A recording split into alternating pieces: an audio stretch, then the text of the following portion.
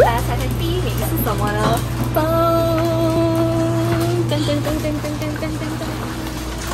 其实呢，这个超市的茶也是很受欢迎的，但是第一名是它，就这样。Hello，大家好，我是用生命学中文，今年推广台湾第九年的三角，皆さんこんにちは。今天我要跟大家讲的是日本超哈台、超意外的日本人气台湾伴手礼 Top Five，耶！ 最近啊，台积电在日本设厂之后，又更炫起台湾风，而且甚至我也很惊讶哦，在日本的东京还开了台湾风的咖啡厅呢。像大家都知道，珍珠奶茶在日本也很红，但是就带不回去嘛。那日本人来台湾喜欢带哪些东西回去呢？话不多说，马上跟大家分享第五名，台湾格马兰威士忌。那日文是卡巴兰威士忌。那格马兰是台湾的宜兰吗？你知道为什么格马兰威士忌可以红遍全球吗？大家可能只知道它很有名，但不知道为什么。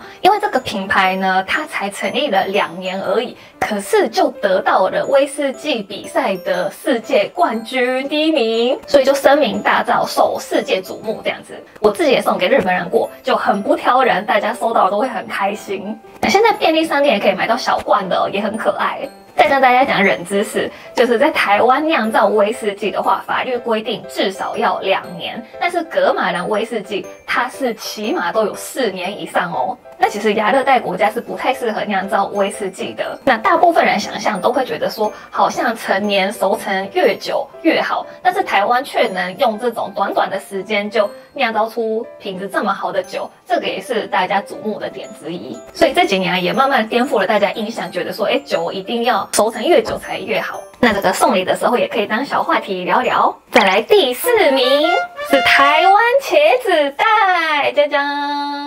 那这个茄子袋日文叫做流西阿米巴格。那我其实一开始也不知道它叫茄子袋，一听到的时候想说啊，茄子袋是吃的茄子吗？就其实不知道它有正统的名称，我以前都叫它买菜篮、买菜包。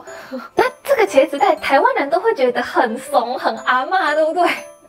就会觉得不敢相信，为什么外国人会喜欢这个东西？但你知道吗？这个在日本、台湾的茄子袋被称之为台湾 LBO，。台湾 really 懂，应该真的大家不敢相信吧？你们有好奇过为什么它叫茄子袋茄子吗？这又是台湾人不知道的冷知识了。那它起源于台南，由来是日文的一种编织方式，叫做卡伊亚米，就变成茄子袋这样子。原来名字是日文由来诶。那这个受日本人欢迎的原因就是，哎，会觉得它很卡哇伊，那套各式各样的花样嘛。我第一个会想到的就是那个五颜六色、很花花的，有没有？就是大家。觉得最阿妈的那种，其实那个也很多外国人背。然后其实还有一些黑白啊，比较素的那个，就其实真的蛮好搭配衣服的。就还有受欢迎的原因是会觉得卡ルクテ丈夫。 就是又轻又坚固耐用。再来，我要介绍的是，大家都很爱去日本药妆店扫货，对不对？但你们都不知道，台湾的药妆产品也很受日本人欢迎。现在啊，真的是日本人要来台湾搜刮药妆品的时代，真的完全不夸张。那我印象很深刻，就是从台湾的面膜开始，现在在日本、台湾的美妆伴手礼真的是超夯。我私心推荐一个底妆，是贝朵娜的极光 CC 霜。保养底妆防晒一瓶完成，我一定会买给我日本的朋友，真的是太好用了。我现在真的不能没有它，因为它可以让我每天多睡半小时。日本上班族每天早上出门都超赶，搭电车就像在打仗一样。那这个东西给日本的朋友，他们开心到不行。它是日本上班族的最爱，在台湾也很有名。完成超快的，超迅速，一下就推开。因为它媲美日本热销十六年第一名的伊丽丝尔的小金管，但是这个极光 CC 霜它的校正肤色比它更厉害。你看它像那个慕斯一样啊，超级好推开，它真的超丝滑。我一开始用的触感真的觉得惊为天人，台湾的化妆品这么厉害。就第一个字已经不见了，好，我整个涂均匀。你看它这个完全不泛白，这一只是有擦的手，这一只是没擦的手，是不是校正肤色超赞的？整个很提亮亮白。它明明擦起来超轻薄，可是它校色效果超级无敌好。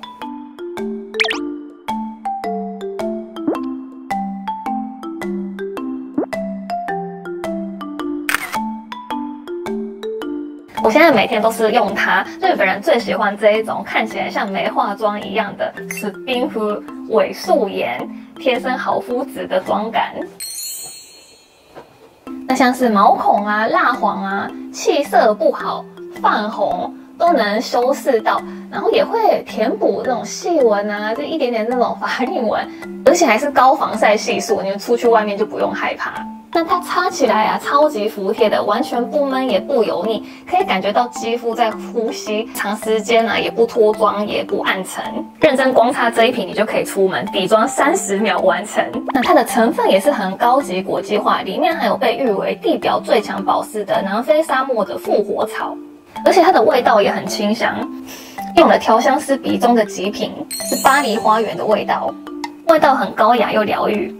台湾的东西现在真的很厉害，真的完全像国际专柜的品质。它也是纽约时装周的指定品牌，是美妆界的台湾之光哦。那我已经爱用这个牌子两三年了，这款是它的新产品，真的超强。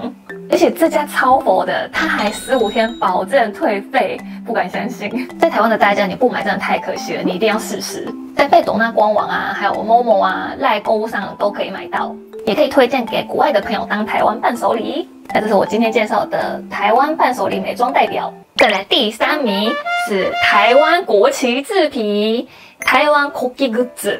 那这个不知道大家会不会觉得很意外？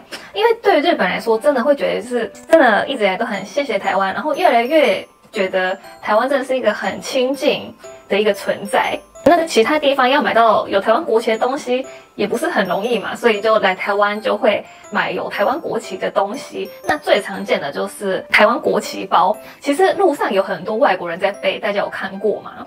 然后我觉得日本人最常买的就是台湾国旗的钥匙圈，还有现在日本乐天都还卖那个台湾国旗贴手机的贴纸啊。这台湾的大家可能会很难想象，觉得说，哎，为什么外国人会想要买就是我们国旗的东西？其实就很简单。大家台湾人，你去日本也会买这种东西，对不对？做的，其实这种日本人也会买哦，这很自然，就是你会觉得，哎，到了这个国家玩，你就会买这个国家的东西，就是有一种到此一游的感觉。那个有台湾人问过我说，哎，在日本带这种有国旗的东西会不会很丢脸？我说不会，那日本人自己也会，而就外国人带也不会觉得怎么样。他偶尔会看到很酷的台湾国旗的衣服，整身的那一种。就现在国旗制品是很多，大家无法想象。第二名，无印良品的卤包，超特别的，可以带回去卤出卤味。好，这是第二名，台湾無印良品台湾限定グッズ。那其实台湾的这种调味料啊，只有台湾才有的味道，就在日本也是很受欢迎。就如果台湾今天有一个品牌到了国外发展。 然后还出了那个当地限定的东西，是台湾买不到的的话，台湾人应该会很好奇，想要过去那个国家然后买，就是自己国家的产品，对不对？就是会好奇，就日本人也是这种感觉。而且因为自家品牌的东西，也会觉得很平易近人，很好进去，也比较不会害怕。我觉得这个超级可爱的，这日本人看到一定会觉得超可爱。我一看到觉得，哎，我想买。还有这种送礼用的台湾茶，哎。还有国产豆奶，真的突然好多台湾限定的东西哦。然后看到这个什么嘉义双盐奶油豆渣米酥饼，这个看起来好像也很好吃哎。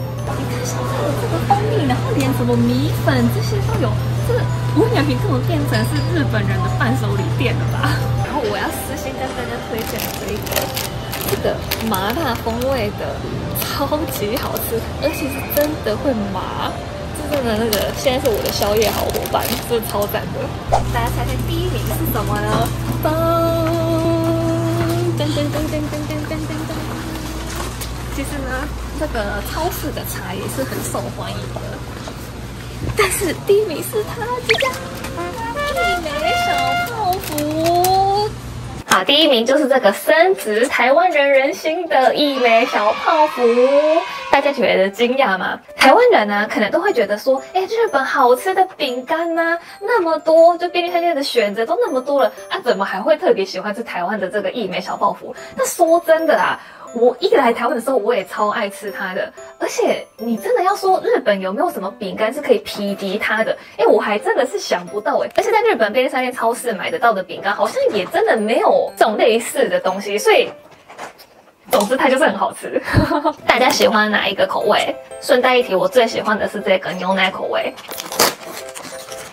这一打开就超香的，我真的觉得做这个饼干的人真的是天才哎，因为它的这个口感，然后这个大小，整个真的就是一切就是非常的刚好，嗯，真的很好吃，就是这个味道，嗯，就真的吃不腻，而且这个不止很受日本人欢迎哦，住在日本的台湾人，他想念台湾。要拜托你买的东西，第一名也是这个一枚小泡芙。我真的受过很多人，就住在日本的台湾人委托，说你可不可以帮我带一枚小泡芙过来？我真的好想吃它哦。大家在外地想念台湾味，好像都会买这个。嗯。好，那谢谢大家看到最后，今天的分享就到这边。你对今天介绍的排名哪一个感到最惊讶呢？或者是你自己觉得台湾的伴手礼心目中的 number one 第一名是什么？欢迎留言告诉我。如果觉得影片有趣的话，请帮我按赞，也欢迎分享给你的朋友，还是你的国外的朋友，我们一起推广台湾味。那请记得订阅我们的频道，是我们持续创作很大的鼓励。还有其他的类别影片也欢迎看看。有 Facebook、Instagram 用中日文分享资讯，也欢迎追踪。那我们下一集影片再见，拜拜。